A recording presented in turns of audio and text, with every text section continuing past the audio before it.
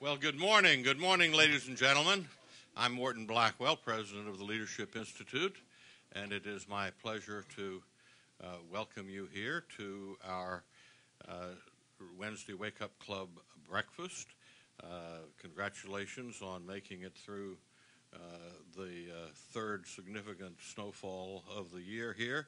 Somehow we are learning to cope with global warming. Um, we live uh, in interesting times. After the 1994 elections, it took the Republican Party more than 10 years to get the uh, electorate so angry that they threw them, uh, that they lost confidence in the Republican Party and, and threw them out of control. Um, the President Barack Obama has achieved this in one year. Um, the uh, Leadership Institute had uh, uh, last year set an all-time record, 22% increase over our previous record, training 11,200 students in 2009 um, in our 41 types of training schools. And uh, in uh, in January, we trained we trained already this year 236 students. And since 1979, the Institute has now trained more than 80,000 people, most of them students. You have uh, before you uh, at your tables our current 2010 school schedule. Uh, I ask you to take a moment to review our upcoming schools and consider attending one of them or sending a friend. Uh, it happens that we have now uh, more uh, schools already scheduled this year than at this time in any previous year, and we have considerably more students enrolled at forthcoming schools than we have ever had at this time in any previous year. Uh, I, it will be my pleasure now to introduce to you Eric Slee, who will offer an invocation and lead us in the Pledge of Allegiance. Eric Slee is currently the Director of Communications Training Department here at the Institute. Eric was previously a legislative correspondent for Congressman Mark Green of Wisconsin's 8th Congressional District. Uh, he's raised in Watertown, Wisconsin, Eric graduated from the University of Wisconsin at Oshkosh, receiving a bachelor's degree in political science. Eric, would you come and offer an invocation, lead us in the pledge? Okay, please join me in prayer. Heavenly Father, bless us as we come together in your name. Send the Spirit of Jesus into our hearts to guide us in our discussion today and help us to work together for your honor. Thank you for preparing this meal for us. Thank you for the abundance of your goodness, which sustains our lives and strengthens us to serve you more effectively. Thank you for the hands that have prepared this meal and for the joy of being able to share it. For all we have received and all that is yet to come, God, we are thankful. We ask this blessing through Jesus Christ our Lord. Amen. Please join me in the, in the pledge. Pledge allegiance to the flag of the United States of America and to the republic for which it stands, one nation, under God, indivisible, with liberty and justice for all.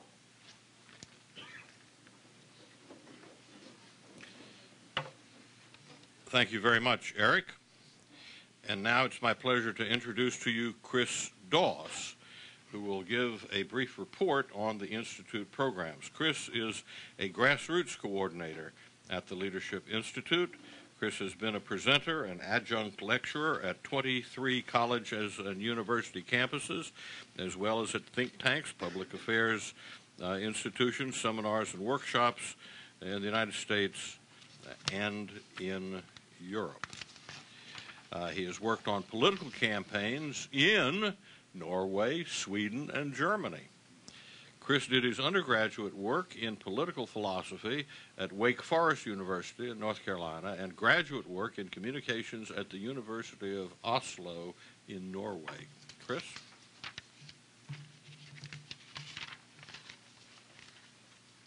Thank you. Uh, ladies and gentlemen, we're staying fairly busy in grassroots right now. Uh, at this very moment, uh, Robert Arnakis, my boss, is in Nevada where he's crisscrossing the state doing about a half a dozen programs. And I don't know the exact nature of each of those programs, but I understand they have something to do with linguistics and dialectology, and Senator Harry Reid is teaching him the terminology that he's using.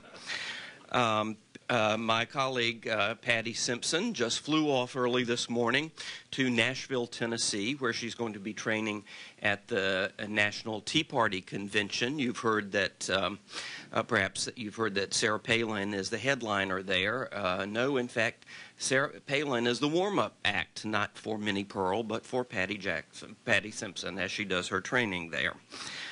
If Al Gore's global warming doesn't preclude it, I know you think there are no conservatives in the state of Delaware, but we have over 100 people signed up this weekend for a weekend class in Dover, Delaware this weekend. So we'll be out there. Um, in the last uh, six months, Patty, just going to Tea Party meetings, has trained over 400 astroturfers. Um, in, on the 18th and 19th, all of programs will be doing a fairly vast uh, set of trainings at CPAC. We hope you'll join us if you're going to be there.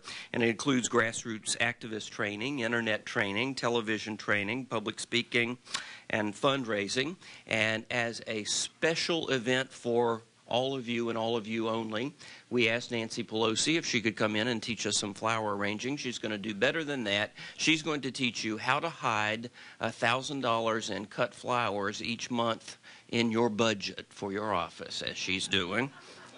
And Janet Napolitano is going to teach us how clever planning foiled the Christmas underwear bombing. so we hope you'll join us for all those. Thank you very much. Thank you, Chris. Thank you.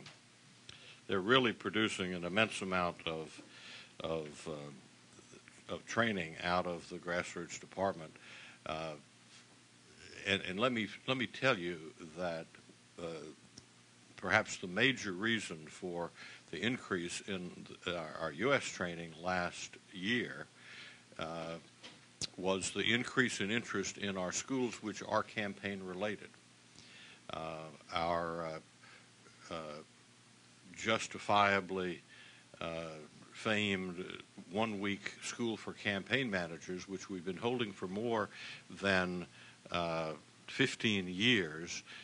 Our school in the week-long school in early December drew 112 people, which is close to twice the number that we have ever had at that school in all the years that, that we have been conducting it. And the result was that uh, we've scheduled another one of those schools for uh, this month. Uh, the, the demand is high. That, that's a very intense five-day school. I think we have 25 different lecturers uh, come to talk about uh, different aspects of uh, what campaign managers need to know. And now, to introduce our speaker, I'm going to present to you Chris Malagisi. Christopher Malagisi is the Director of Political Training here at the Leadership Institute. He is also President of the Young Conservatives Coalition, a DC-based young professional conservative advocacy and networking organization dedicated to organizing the next generation of the conservative movement by fostering young adult activism and public policy awareness. Uh, Chris is a political science adjunct professor at American University. He was recently awarded the 2009 Rising Star Award from Campaigns and Elections uh, Politics magazine.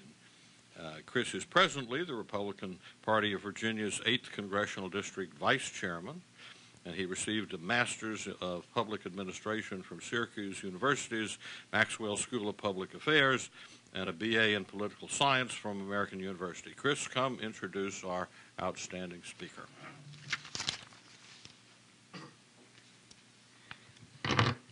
Thank you very much, and good morning, everybody. Uh, it's my proud honor and privilege to introduce our guest speaker here today. Uh, some of you may, uh, I'm sure most of all of us know who he is and uh, definitely who he writes uh, for. Jed Babbin is the editor of Human Events. Uh, he, it's America's oldest conservative journal as well as humanevents.com. He is a best-selling author of a few books, um, mostly published with Regnery Publishing. In the words of our enemies, Inside the Asylum, Why the UN and Old Europe Are Worse Than You Think, and Showdown, Why China Wants War with the United States. Mr. Babbin has written weekly columns for uh, various online and print publications such as Real Clear Politics, The Washington Times, The American Spectator, and is a contributor to National Review Online as well. Mr. Babbin's expertise is in national security and foreign affairs, and is a former Air Force officer who served as a deputy undersecretary in the George H.W. Bush administration. For about four years, uh, Mr. Babbin has served as a designated host, guest host of Oliver North's Common Sense Radio when Colonel North uh, was unavailable. During the Iraq military campaign in 1993, he, when Mr. North uh, was unavailable, uh, he had he'd sit in for him for nine straight weeks, uh, filling in for him. Since then, Mr. Babbin has also subbed for Laura Ingraham, Hugh Hewitt, Rush Limbaugh, and Mark Levin. He has even traveled to the terrorist detention facility at Guantanamo Bay, Cuba, and to Iraq in 2005. Mr. Babbin is also a graduate of Stevens Institute of Technology and received a law degree from the Cumberland School of Law. Some other interesting tidbits about Mr. Babbin is that he also writes for the American Spectator's Saloon series on subjects such as single barrel bourbon and fine cigars. He also wrote a military adventure novel called Legacy of Valor.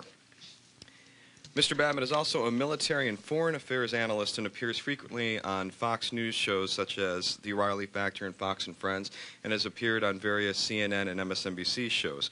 One in particular I wanted to point out was uh, a notable quote that I found on Wikipedia about uh, Mr. Babbin. When he was on uh, Chris Matthews in 2003 talking about the lead up to the Iraq War, he had a quote uh, when talking about France and uh, the coalition of the willing or the unwilling, that going to war with, without France is like going deer hunting without an accordion. You just leave a lot of useless, noisy baggage behind. oh, please clap. Another one of my, I looked up some of his recent uh, op-eds that he had writ, uh, written, and there was one in particular that I thought would be interesting and very timely. He also recently wrote about the Scott Brown election in Massachusetts um, in a title entitled Return of the Bambino's Curse, where he states, For the Senate seat held since 1952 by Kennedy brothers Jack and Ted in the most liberal state in the Union is about as likely as my seeing a unicorn among the deer grazing on my farm. Mr. Babbin's contribution to the conservative movement are countless, and he is tires and he tirelessly continues to educate Americans about the principles that you and I hold dear. As he leads human events into the 21st century, he continues a tradition of, as the late President Ronald Reagan said, spreading the revolutionary news of our crusade. Ladies and gentlemen, Mr. Babbin. Thanks, Chris. And you know, with that kind of a lead in, we've got to get revved up here let's get serious. Now, he, we at Human Events, being devout conservatives, we are dedicated to changing and fixing a lot of the political problems in Washington, D.C. One of them, of course, is the lack of bipartisanship. So we have a proposal that I'm going to be sending up to Nancy Pelosi's office just later today. You're the first to hear about this. We're going to say, look, we know and you know that we have to resume waterboarding of terrorist prisoners. But in order to bring some of the liberals along, we will promise that it'll only be done with Perrier. hey, look, we got to try, right? All right. Well, let's let's talk uh, at the risk of being serious uh, about the topic that I think should be nearest and dearest to every heart in the room. Are you safer today than you were a year ago? Is your nation safer? We're going to talk a little bit too about the economics of this and the fact that you know this is really not going to hurt me very much and, and Mort and Helen and, and some of the people who are over 30. Uh, but those of you who are under 30 uh, are going to face a reduced economy in a way which is going to affect your lives directly. And you'd better be concerned about where this economy is going because it's your money that they're dealing with. Let's go right back to national security first. Let me suggest to you that for as many things as the Bush administration did wrong, and there were legion and many, that you have a situation now where a president of the United States is taking actions, not neglecting things, but taking affirmative actions that are reducing our nation's security. And by his actions, he will cost American lives here and abroad. Let me just run through a couple of them.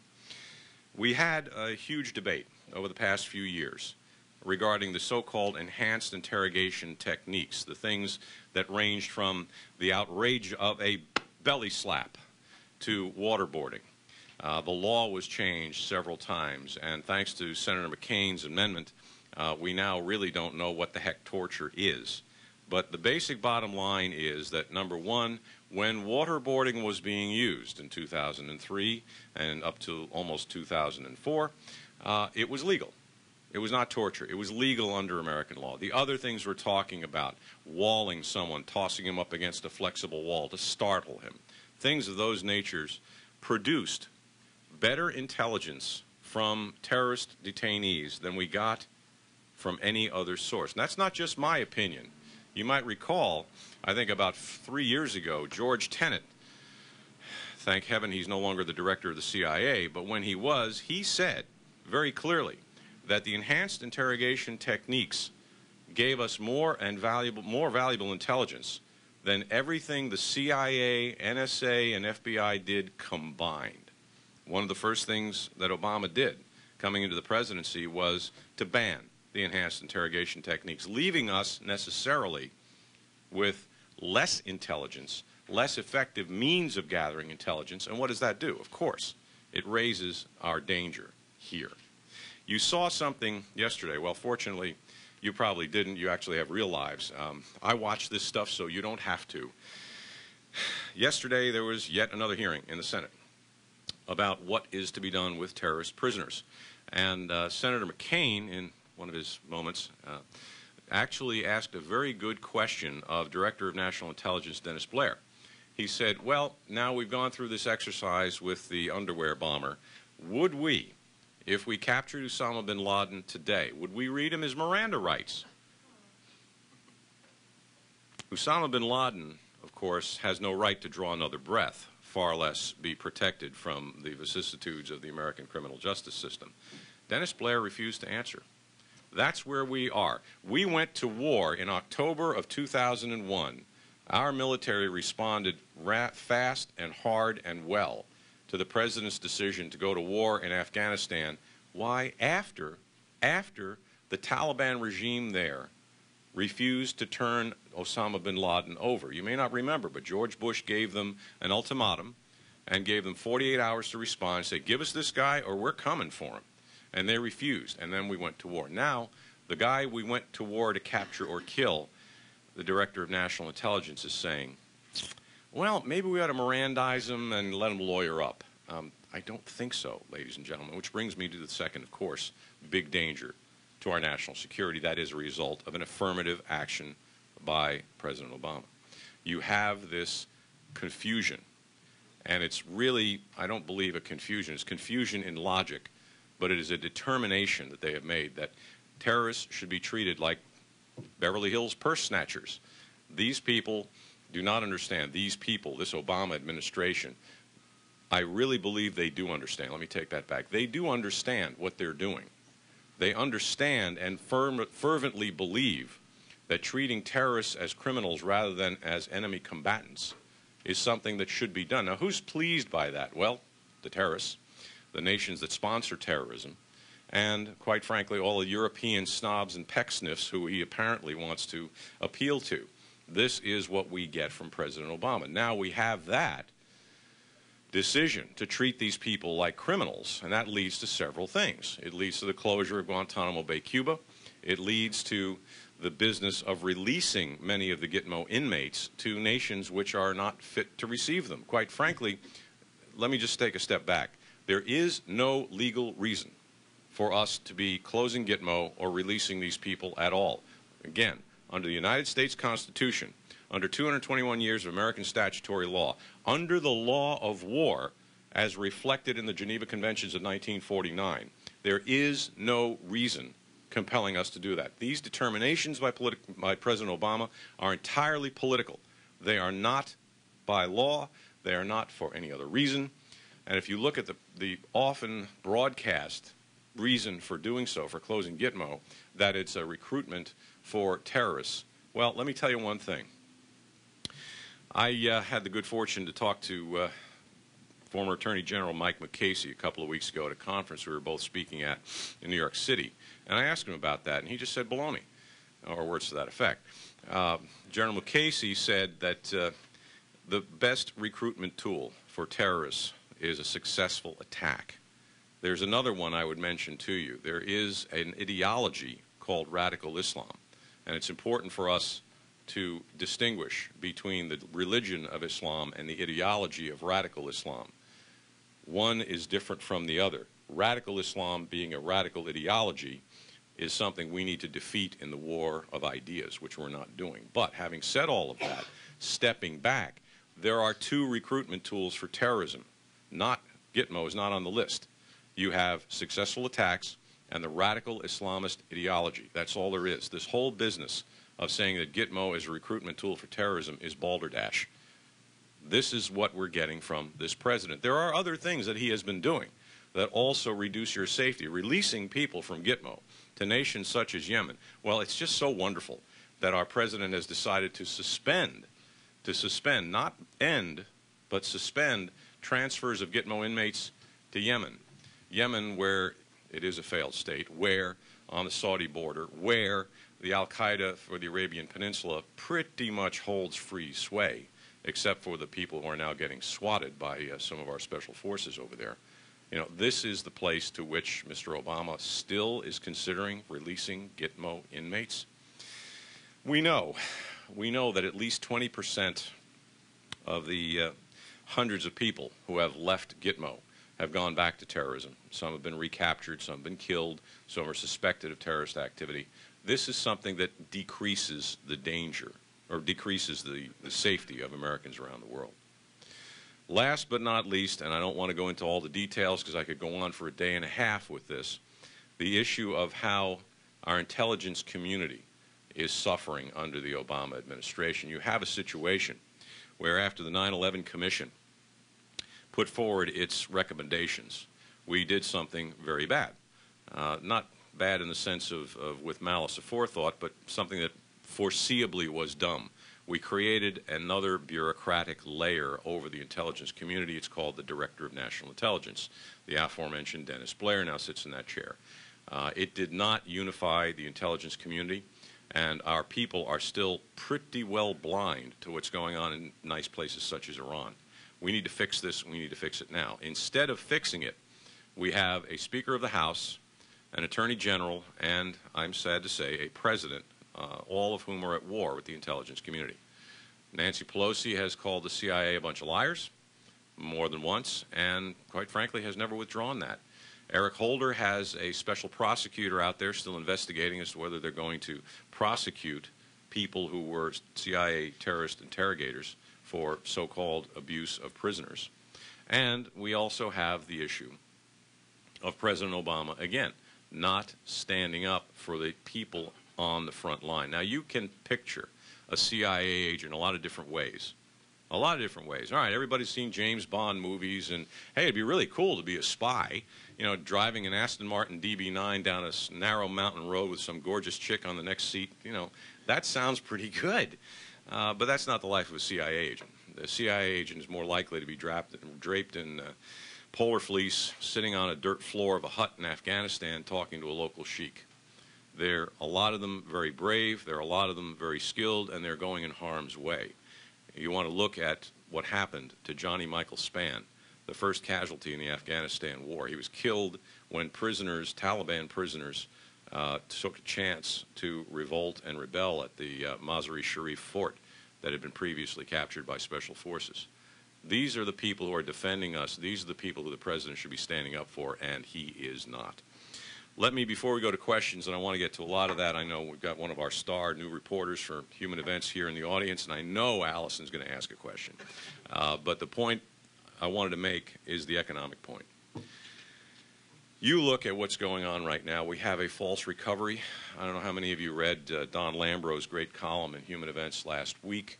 Uh, Don, former Wash Times writer, uh, like many of the Wash Times people you used to enjoy, they're now at least part-time writing for us at Human Events. The uh, point of his column was an interview with Art Laffer, Ronald Reagan's favorite economist, and what uh, Laffer was saying, I think, is demonstrably true. We are now in a false recovery. The nation's economy is coming up a bit. We saw, what, a 5% growth in the last, uh, last quarter. But what's going to happen come 1st of 2011?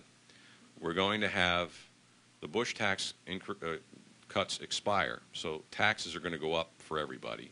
Capital gains taxes go up, hurting business and business investment, and estate taxes go up, hurting those people who need to inherit businesses and farms and so forth we're going to be hit by an economic tidal wave that's going to be worse than what we saw last year. And all of this is going to come at a time when you, the younger folks around here, need to really be most concerned. You are the people who are at risk. You are not going to have the standard of living that your parents did. You're not going to be able to buy that Porsche. You're not going to have as big a house as your parents bought because the dollar is going to be worth less. Think about this. In 2020, on the way we are going right now, just 10 years from now, on this path, the government spending will be, actually the deficit, I believe, will be 75% of the gross domestic product. Three quarters of every dollar that this country produces will be spent by the government. You people, right now, and I know more, this is the intention of, of the Leadership Institute, you people need to be revved up. You need to get out there. You need to get off your butts and get involved in political campaigns every month, every day, every hour you can possibly do it. And even more so this year. Hey, it's your future that these folks are messing with. It's your lives, it's your children's lives. This economy is at stake, and we are on the brink of something that we have not seen since the 1930s. I am not necessarily all doom and gloom. But I got to tell you, I've got to call it as I see it. And you know what? If it's if it's Art Laffer who's predicting things like this, I can't ignore that. Well, let me uh, end on a higher note and just say we've got more good people in our military right now, more good people in the CIA. Let them do their jobs. Let them win. And we can fix this, and we can make America safer, and we can protect our children and our children's fortunes. This is all doable, ladies and gentlemen. The, the battle is not over, and we're not going to quit. Well, thank you very much. Let's get some questions.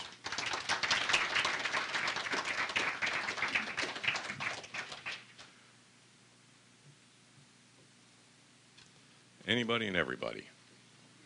I knew it. Allison Efferson is one of our newest writers at Human Events. She is a no. terrific writer. Thanks. And you need to read ADP Efferson on humanevents.com. Thanks, Jed.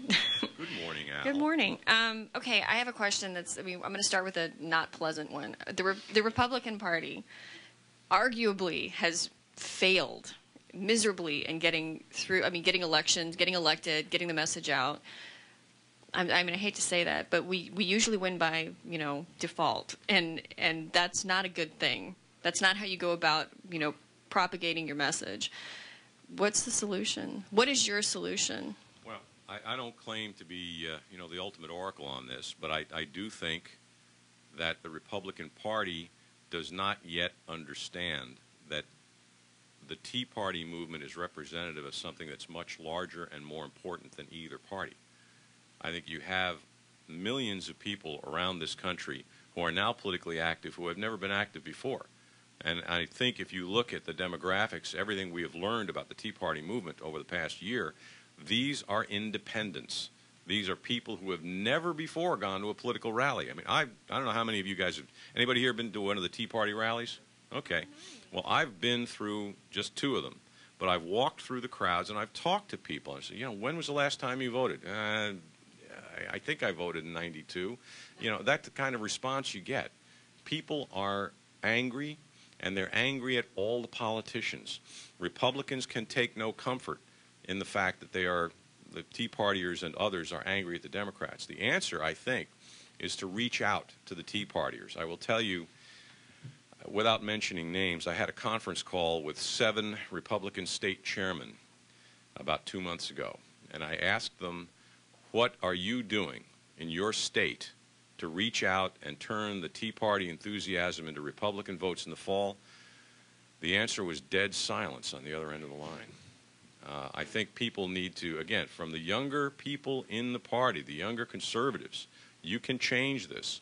Go to meetings, rattle cages, saying, we've got to go do this. What are you doing on Facebook? What are you doing on Twitter? What are you doing to reach out to these young folks? How many people are you going to send to that Tea Party rally? You know, if you don't shake the cage, eh, nothing's going to happen. But I think that at least is the long-term answer. I don't know if there is a short-term answer. I, I'm hopeful the Republicans make big gains this year, uh, but never, never presume. Yes, sir. Uh, underwear bomber came out that he, you know, he's cooperating without being pressured, etc. Supposedly giving good information, etc. And Rachel Maddow and the rest of them are all now saying, "Gee, why?" So, what's the response? Well, number one, I do not believe for one minute that his cooperation is complete or as complete or as timely as it could have and should have been a month or so ago if his sorry butt was dragged off to Gitmo and put in a cell as it should have been. This man should not be in civilian custody. To answer Maddow in that crowd, what you have to look at is what is the circumstance of the information he's now giving. Is it too late, too old? He's giving it in terms of obtaining a plea bargain with our government to get a lesser charge so that he can go back to uh, whatever he's doing in Yemen and uh, get trained to do another better bombing. The, the basic point is the information which we're getting now is being sold, not obtained.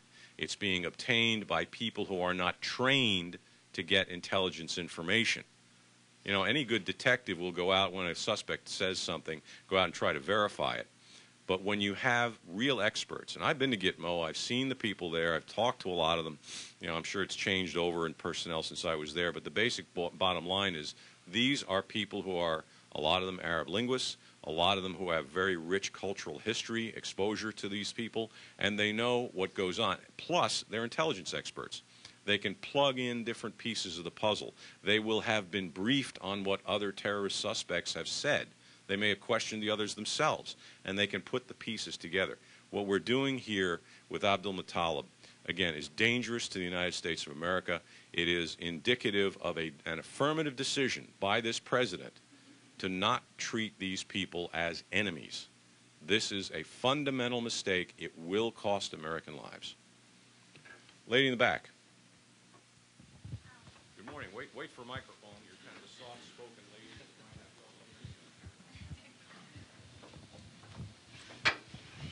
lady. Good morning. My thanks for joining us, Mr. Babbin. My name is Giselle.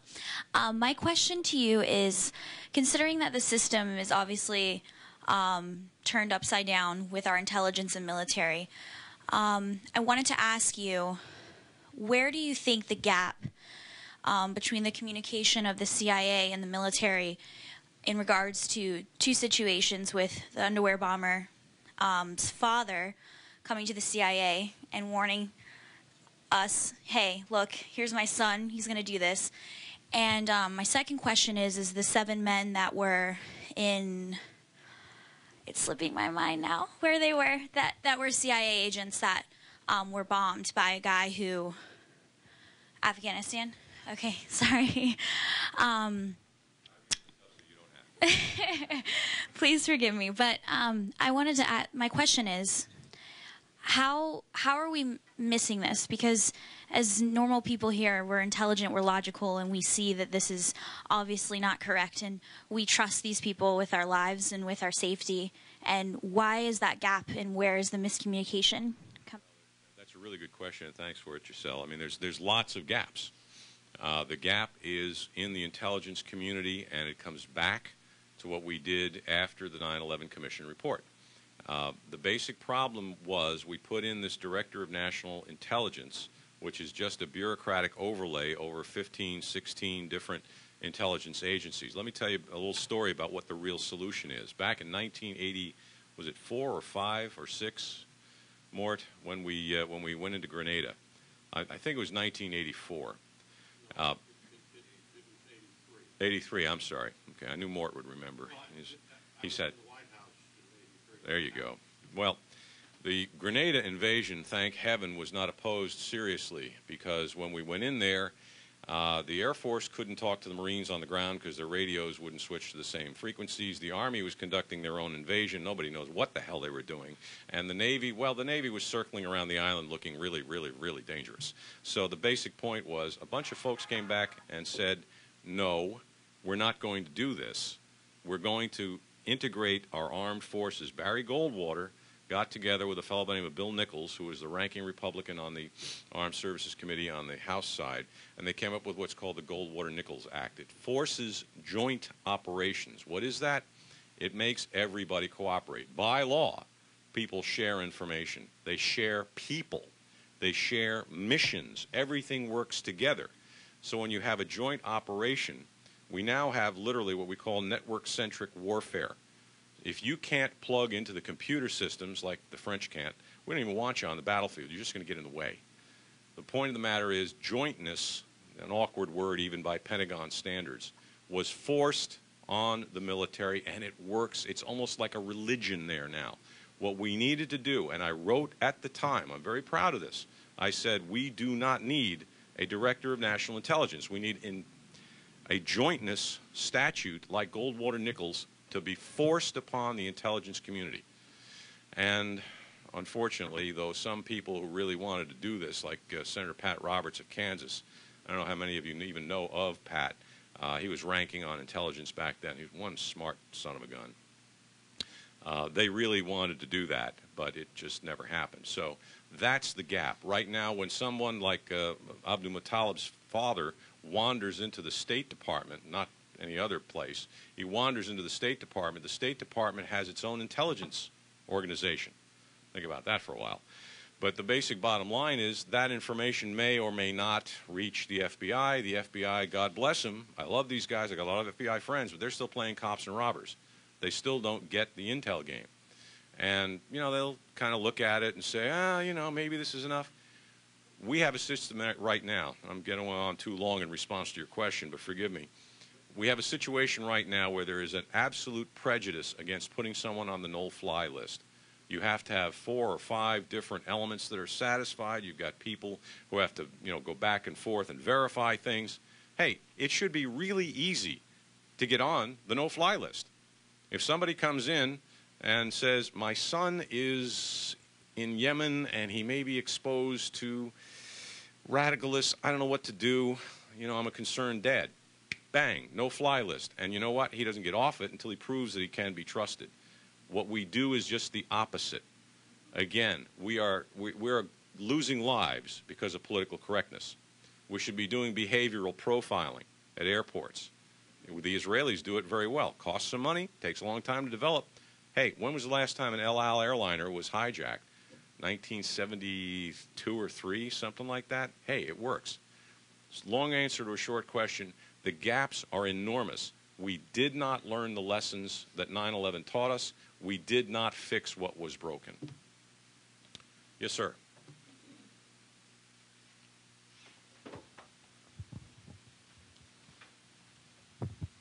Um, considering the the new budget that's been proposed by our president, and uh, uh, right now he's campaigning all over the country, talking about how we need to bring down the deficit and yet the deficit in the budget at what 1.6 trillion is higher than it's ever been. Um, should it be? Uh, should the Republicans in the Senate should they filibuster against this budget, um, and whether or not they should, will they, and what can we do to try and influence this? Let me try out a new line on you. Uh, Barack Obama preaching fiscal responsibility is like a Frenchman preaching bravery and loyalty. Uh, you know, basically, you've got, that's not as good as the earlier one. Why? What? Okay. What, what were they resistant to? You know, more expensive wine? Come on, you know. The, the, point, the point really comes back to this is damaging our economy. The, the Republicans absolutely should try to filibuster it. I don't think they'll be successful, but you never know. The point of the matter is that spending is, you can't even say that it's out of control and even adequately describe it. This is a runaway train which is going to result in a devaluation of the dollar and a reduction in the American standard of living for decades, maybe forever. I think you need to get involved. Every last one of you can be writing your congressman. I mean, go to Tea Party movement. Start your own Tea Party. Start an economic Tea Party. You know, you've got the Tea Party, comma, healthcare, one each. All right, let's start Tea Party, comma, economics, one each. I mean, you got to you've got to rev people up every single day. You've got to be talking about this. I mean, to talk to the folks on the Hill is a good thing, and to talk to the Republicans, of course. To talk to the Democrats, you should do it too. But I'll tell you right now, there are people out there like Senator Claire McCaskill of Missouri who are literally turning off the phones and not talking to constituents. That message needs to get out too. These people don't want to listen. Yes, sir.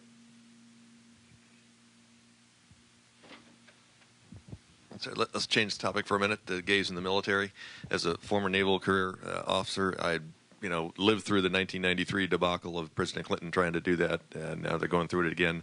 Secretary of Defense and Chairman of Joint Chiefs just came out saying they're going to look into it and they're you know siding towards it. The question though is how within the in the ranks I know firsthand that that you know good order and discipline will be it'll be detrimental to that, but they're you know they follow the strict chain of command and so they don't they can't be too political. But how how do how do they or how can we as conservatives you know uh, bring them into the the conversation to say no? You can't really bring active duty military into the political situation. I mean you know i've been there myself as an air force officer. You can't be political That's part of our democracy you know the separation of powers and all the rest of that but the basic bottom line here is this is a done deal unless one thing happens. The only thing that can stop this train is to get a bunch of good senior generals and admirals to say, I will resign if this gets changed. You've got an active duty people. If they don't have the guts to do that, and I bet they don't.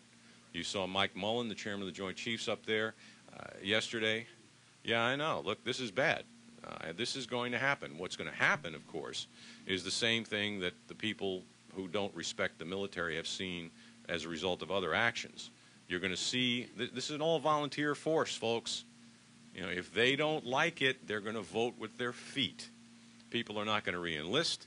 People are not going to join up. And you know, if you can't, and you don't have privacy. I mean, I was an Air Force officer. We had hot showers, and you know, I had a very nice apartment in Sacramento, California, which is as far as as close as I ever got to anything dangerous. But the basic point of the matter is even the fly guys who were over in Vietnam at the time were, you know, they had, they had a decent life. They weren't out in the, in the mud with the grunts. When you're out there, you don't have personal privacy. You don't have a situation where you can be alone or, or have something to yourself. And if you have someone there who is a sexual disturbance, that's going to affect morale. It's going to affect unit cohesion. It's going to affect the ability of that force to fight. And the, the troops are not stupid. The troops get it. They understand what's going to change in their lives and in the atmosphere in which they fight. And they're not going to like it a whole lot, ladies and gentlemen. This is going to be a very bad thing for our military. Again, the only way to stop this, and I'd, I'd love to have a lot of people out there and, and you know, talking about it and marching about it, the only thing that's going to stop this is if a couple of guys with stars on their shoulders have the guts to resign over it, and I don't think that's going to happen. Uh, Mort.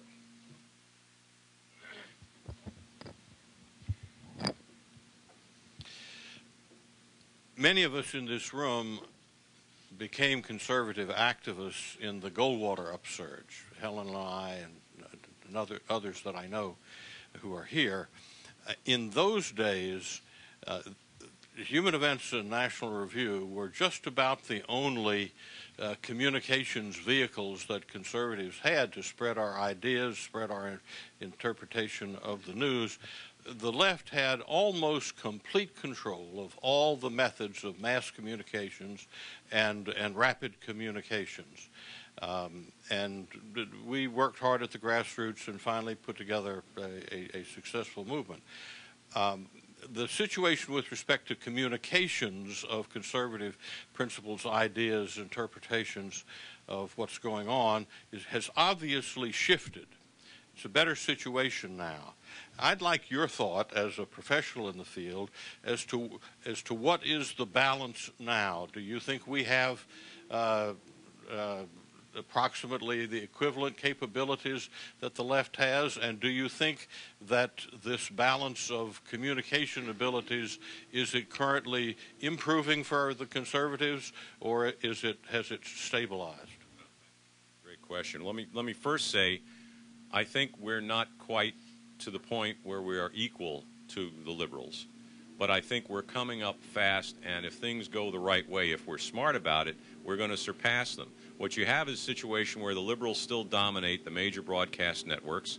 What we have, you know, to a degree, we have Fox News, we have talk radio, and we have publications like Human Events, and there's a lot of blogs out there.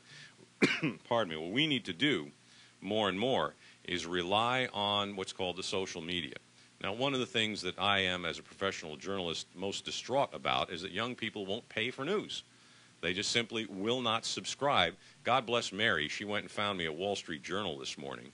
You know, I can't really go through my morning without getting through the Wall Street Journal, especially the editorial page. But the basic bottom line is younger people, people under 30, don't want to pay for this stuff. So what you've got to do is you've got to be out on the internet and you've got to be on the social network. A lot of people now are catching on in the conservative movement.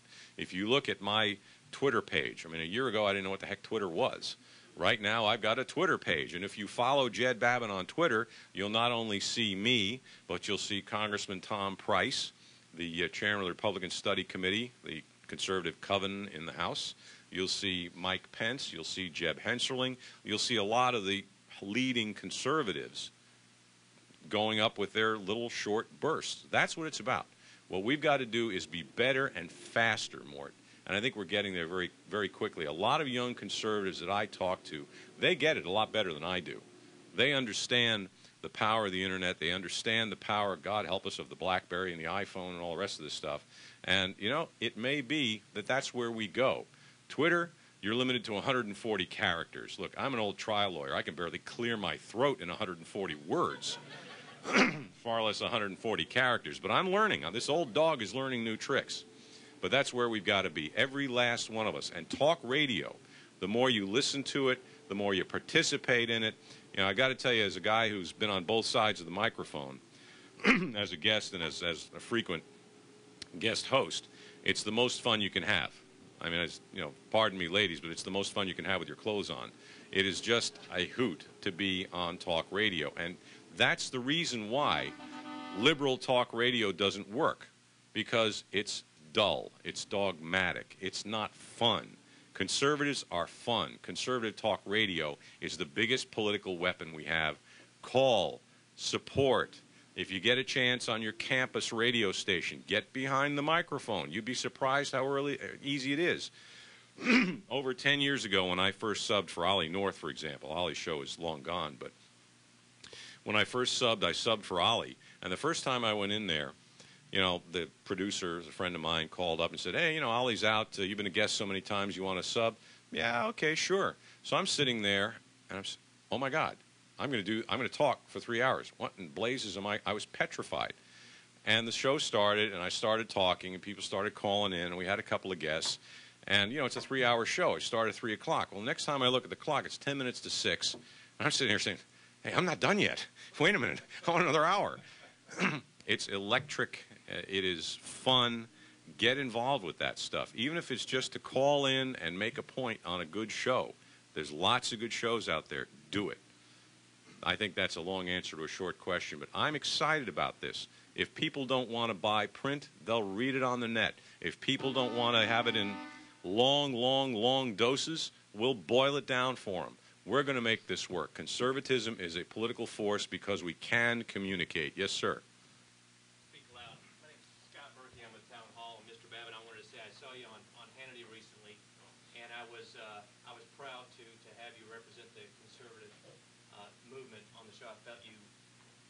Stood up for us and represented us well uh, in the face of Juan Williams there, and went back and forth. And uh, and I, I was texting back and forth with my boss, Jonathan Garthwaite, saying, "Man, Jen turned him up." And I just, I want to tell you congratulations. Thank you for standing up for us so well on uh, on TV. it's what we do. Everybody, you know, it's just don't leave it to this old goat. You know, you all get involved too. Yes, sir. Yes, sir. I was wondering what your opinion of the uh, Fort Hood report was. We knew what Fort Hood report was going to say shortly after uh, the Fort Hood shooting. And I say that advisedly. And I say this with, with some anger. The Fort Hood report is a sham. It goes through I don't know how many hundreds of pages without mentioning Islam or the fact that this guy was a jihadi. Uh, when you have a chief of staff of the United States Army, I, I've, I've known George Casey, pardon me. Coffee is the answer, regardless of what the question is. Uh, I've known George Casey. I've dined with him in his quarters in Baghdad when he was commander over there. Uh, but after the Fort Hood shooting, when you have the Chief of Staff of the United States Army saying, as much of a tragedy as this was, it would be an even greater tragedy if the Army's diversity were harmed, that man is not fit to serve. And I think we have to recognize that if you are not going to protect the force, again, this is an all volunteer force. The troops are not stupid.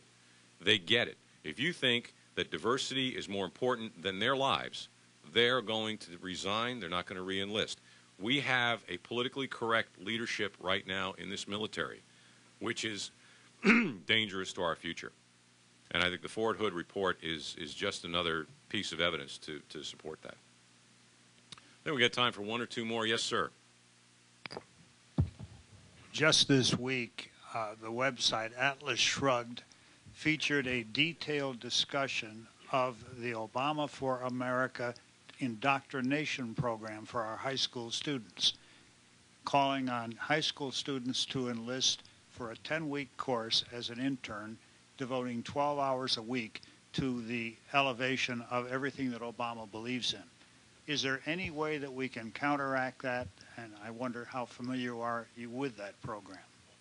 Familiar with that right now, but I'll tell you right now, sitting here, is what we're doing is we're counteracting that. You know, we're reaching out to young people and we're getting through to people of the force and logic and reason and facts behind conservatism.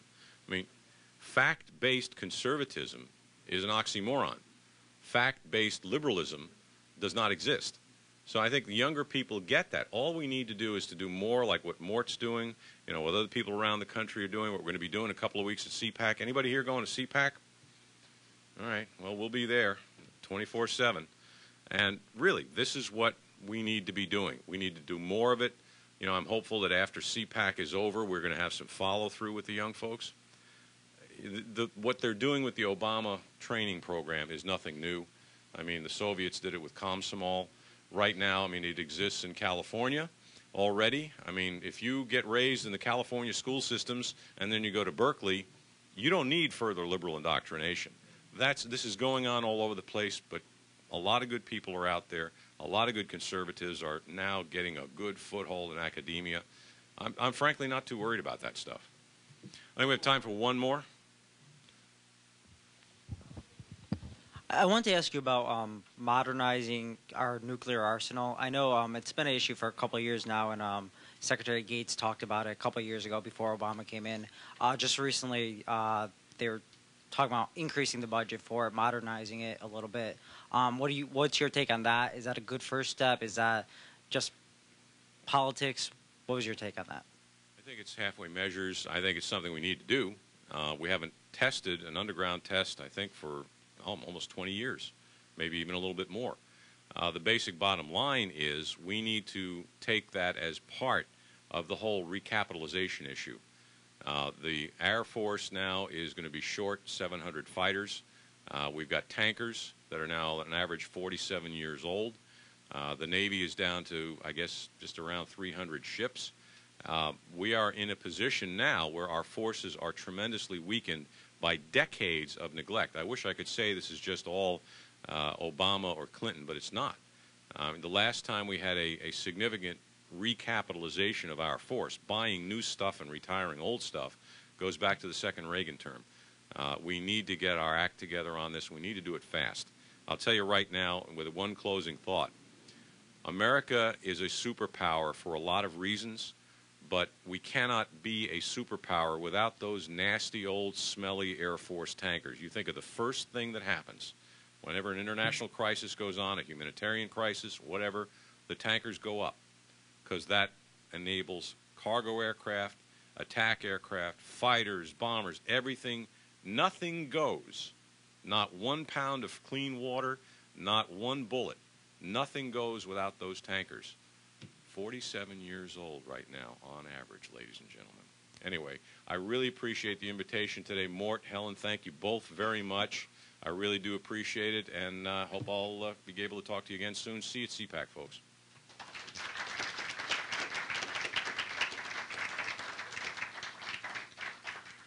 We really, really appreciate that. What a wonderful wealth of experience uh, that you have, wonderful uh, breadth of expertise, and you're a great communicator, uh, not only in print and on TV, but uh, here at a breakfast. Uh, as a token of our appreciation, let me uh, present to you one of our Adam Smith ties. Thank you. Thank, Thank you very much. I've got a couple of these at home from from earlier years, and my wife keeps telling me that they're worn out. So this will be a welcome addition. Well, even even the best quality, and certainly our ties are the best quality ties, eventually uh, do uh, wear out. But fortunately, Leadership Institute can supply uh, uh new ones of equally high quality. I invite everybody, please, to join us on Wednesday, March the third. Uh, our Wednesday Wake Up Club breakfast will feature Mr. Larry Pratt, Executive Director of Gun Owners of America. Larry and I have been friends for more than 40 years. Larry has been part of the, the growth of the, of the conservative movement. He speaks uh, every semester to our interns, and there are always some interns who at the end of the session say, uh, the, and, and they, they have weekly uh, at least weekly speakers come to, to our interns and have dinner with them at our intern house. And there are always some interns who will say their very favorite speaker uh, that came, came to speak to them was Larry Pratt. And uh, I would like you also to consider attending our May 5th breakfast, which, uh, when, at which our featured speaker will be Senator Jim DeMint of South Carolina. Anyone who is interested in a tour of the Institute building uh, should uh, come up here to uh, the lectern as soon as I adjourn. And Seth Nichols, Seth, where are you? Uh, Seth will be happy to give you a tour of the facility. And you know, you might want to delay your walk out into this snow for a little while and take a tour. And Seth is just the guy to give it to you. Thank you all for coming. Come back soon.